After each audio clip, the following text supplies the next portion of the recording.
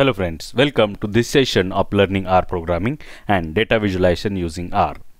In our previous part of this video, we have seen how to add compact letters of comparison above the bars of this ggplot2. And this, these letters are according to the analysis of variance test or AOV, one-way ANOVA. In this session, we will learn how to go for two-way ANOVA, how to get CLD for that two ANOVA, two-way ANOVA result and how to plot those results with compact letter display. We'll uh, first load all those packages which re are required for us. Library. The first package we'll require is Palmer Penguins because we are going to the use data from this Palmer Penguins package. I will run that. Spelling mistake is there. P-A-L Palmer Penguins control run. Next is library EM means is required to calculate the means at AC and this EM means object will be the input of the CLD function and that CLD function is coming from the package uh, multcomp. If you have not installed all these packages then just go to tools click install and type in first few alphabets of the package name.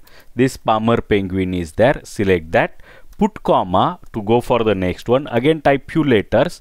That em means select this em means then again go to third one comma and multcomp multcomp select and click install. All these three packages will get installed.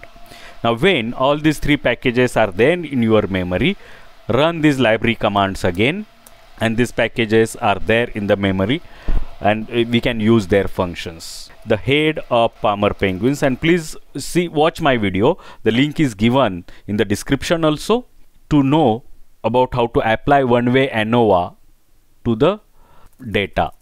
And this penguins data set from Palmer penguins we are going to use here. It contains many categorical variables species island and sex categorical variable and numeric variables. We'll first apply the ANOVA model 2 because in previous video model was named as model 1 AOV and this time we will apply two independent variable to the model. Dependent variable is flipper underscore length underscore mm tilde symbol and this depends on uh, species and island. And this data is coming from penguins. The model specification is complete. We'll see summary of this ANOVA object summary of mod 2 and we can see here that island is not significant but species is significant having significant effect on the or on the flipper length. We'll apply Tukey HSD to this mod object to see pairwise differences. We can see here that in the species chinstrap adelie difference is significant but when we go for island there is no significant difference between the uh, flipper length of penguins from different islands. Island is not a significant variable to have effect on the flipper length.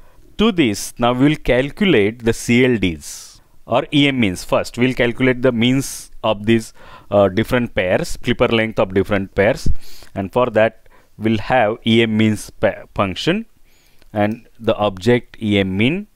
EM means function we are going to use EM means. The first argument is the model, model 2 and this time specification specs. In our previous video we have used just one categorical variable but here we are going to use two categorical variable because this is two-way ANOVA. And the specs will be uh, species and island. I'll copy this to avoid typing put inverted quote here remove this comma and complete the inverted quote. These two variables are there. Em mean will be calculated. Run that and we'll see how the EM mean has got calculated. We have got uh, species island combination Adelie Biscoe EM, mean is 189 Chinstrap Biscoe this mean is there Gentoo Biscoe this 217 is there and for all that combinations we have calculated the EM means and uh, standard errors. EM mean is actually arithmetic mean only and all other information is also there. Now this object will provide as input to get the CLD. EM mean underscore CLD compact letter display and CLD function we are going to use CLD. This CLD function takes this EM mean as the first argument output of emin function as input. The next argument is the letters. L uppercase letters because we want letters. We, we don't want the numbers. And the argument is small scale letters. That uh, L is L will be small, not small scale, lowercase. We'll run that. Now we'll see what is there in this emin CLD object. We'll run that these letters are there A, A, B, A, B because ideally all are same from all these three islands. In Chinstrap, Biscoe, Dream and Torgersen, BC, C and C because all these three are same. Gentoo, the letter is D, D, D because Gentoo, Biscoe, Dream, Torgersen, these three are same but these three are different from those of Chinstrap Biscoe or Chinstrap and those three combinations and Adelie and uh, these three island combinations. Now these CLD letters we want to display above the bars and we'll go further. Now this is little tricky than the previous video. Library ggplot will call for and if you have not installed ggplot, ggplot2 please install that using the install function. Run that. ggplot is the first function to get the plot now the first data is EM means CLD, EM means CLD. Aesthetic mapping is this spaces and EM mean we are going to use. spaces x-axis and EM mean as the y-axis, comma. Island variable will add to fill, attribute to fill, island, comma, geom col. Will get a stacked bar plot and when we run that stacked bar plot is there. We want these bars to be separated from each other. Therefore we'll use the argument position is equal to inverted code DODGE and run that. These stacked bar plots are there. For Adelie for Chinstrap for Gentoo okay. And we can see that there is no difference in the flipper length. Uh, that species sorry uh, species species is there. The flipper length shall be the x y axis flipper length underscore mm and we'll run that. This is a wrong bar bar plot. And it is saying that flipper length mm not found.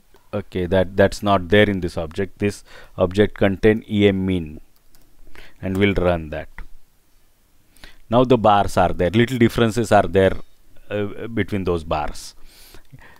To this, we'll add geom error bar, geom error bar, aesthetic mapping for this, ymin lower bound of this is equal to em mean minus ac and uh, this ac from the em mean this uh, cld object. Uh, then y max is equal to em mean plus ac the width also will specify in the same because otherwise bars will that error bars will be just similar to the width of the bars. We want that width to be 0.1 of the bar and we'll run that. And we can see that those bars are there but all the bars are overlapping. We have to use the position argument for that. I will bring that on new line. Position and this time that position will be position dodge. And this position dodge will have the length width is equal to 0.9 because this is the resolution of the bars in the geom col default resolution in the geom col. And you have to use the same width as you use in the geom col in the error bars also to get those error bars perfectly mapped to their respective bars. Now these error bars are there. The 0.1 is very small one will make that 0.2 size also will make size is equal to 0.7 and comma. Run that. Now these error bars are visible properly visible. We'll add the CLD on this. And for that we'll have to specify the label argument in the AES main AES of ggplot label is equal to dot group because dot group variable is there in this emin cld uh, data frame. At the end we have to add the geom text and this geom text will have vjust is equal to 0.7 this time we'll keep minus 0.7 to take the letters above the bars. The letters shall not overlap the bars. And these letters are also on the same spot we have to use position dodge again. We'll use the same argument from the geom error bar and we'll paste that after the comma in the geom text and we'll run that. All that compact letter display is there. We can customize that further. Here I will just customize that to specify the theme theme classic. And that's how we can get compact letter display to show differences amongst the groups or combinations in two-way ANOVA. That's all for this session. Thanks for watching this video. If you like this video, please click like button. Share this video with your friends and subscribe to my channel if you have not subscribed yet. Thanks again for watching.